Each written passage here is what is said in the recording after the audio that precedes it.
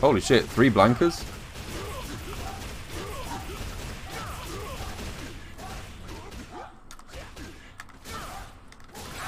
Damn, that was a three blanker only combo.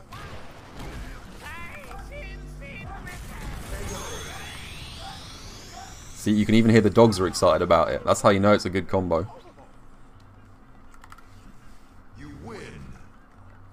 Dogs appreciate a good Tengu combo.